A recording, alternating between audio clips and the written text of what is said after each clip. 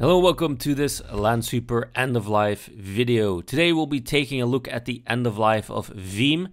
Now, if you're not familiar with Veeam, Veeam is a product for backup recovery and data management. So when something goes wrong, if something goes wrong, that you have backups for all your critical systems uh, or all your systems, depending on how you deploy it. Now, here we're going to cover specifically a couple of the products. We're not going to cover everything that they do, um, but we're going to focus on Veeam Backup and Replication, Veeam ONE, and uh, the Veeam Agent for Windows.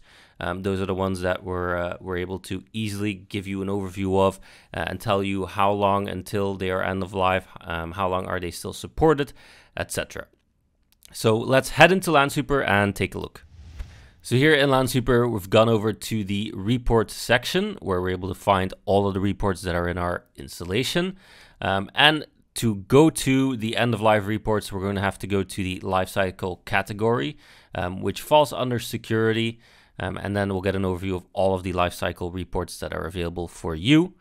Um, obviously, these will also be linked in the related blog post that we've done uh, regarding the Veeam end of lives. So you can also find direct links in there to get you to the report straight away. Um, but here we can have a look at the reports ourselves. So if you click on one of the reports, you'll see that um, once you've run it, you'll get the results with also showing you when does this product go end of life. Um, we also like to add how many days are still remaining so you have a more, uh, an easier way really to understand and how long do I still have before this product is end of life and how long do I still have to either upgrade or migrate depending on what the product is. Um, additionally, there are extra uh, columns there that give you additional information about both uh, the product and the actual asset. And as always, if you want to, you can go ahead and uh, click on the assets and go to their individual asset pages, which, which will give you more information about that asset specifically.